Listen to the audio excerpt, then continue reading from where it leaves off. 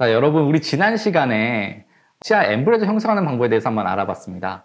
embrasure는 치아를 분리시켜 보이기도 하고 또 치근을 보호해주는 역할을 하기도 하죠. 자, 오늘은 그래서 치근을 보호해주는 또 다른 방법에 대해서 한번 공부를 해보려고 합니다. 오늘 말씀드릴 내용은 치아를 디자인할 때 적정한 contour를 형성하는 방법입니다. 자, 우리가 치아를 디자인할 때 적정한 contour를 형성해주지 못한 경우 contour가 over contour이거나 오히려 아니면 under contour인 경우 음식물에 의해서 치근이 자극을 받게 되고 그로 인해 치근이 퇴축되거나 아니면은 어, 염증을 일으키기도 합니다. 이런 경우를 방지하기 위해서 어떻게 치아를 디자인하면 적정한 컨트롤을 유지할 수 있는지에 대해서 한번 알아보겠습니다.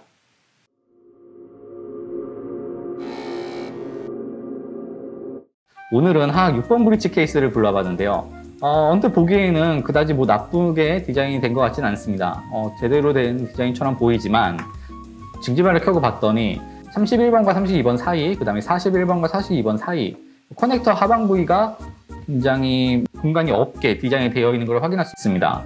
그래서 이렇게 보면 조금 더 확연히 보이는데요.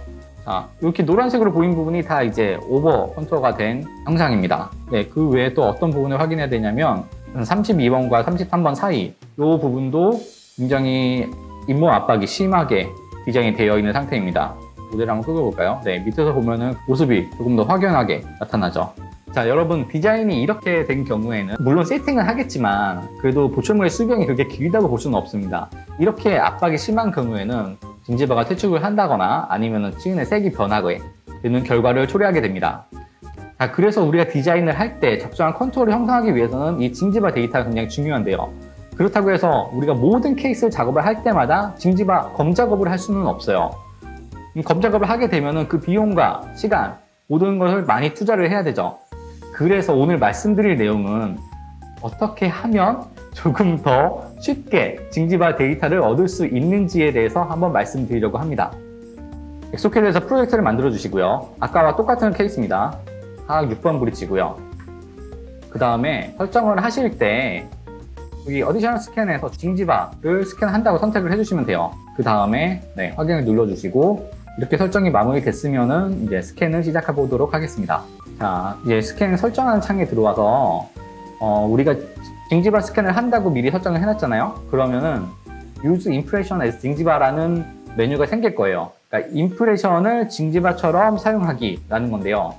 요거를 선택을 해주시면은 임프레션을 스캔해서 징지바 데이터를 얻을 수 있게 되는 겁니다. 스캔을 진행해 보도록 하겠습니다. 네, 모델을 넣어 주시고요.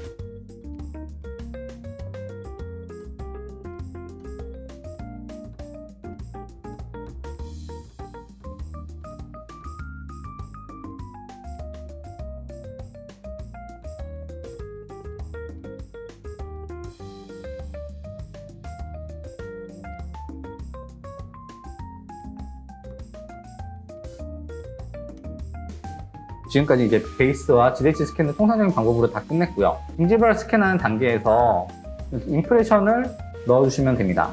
그리고 스캔을 시작해 보겠습니다.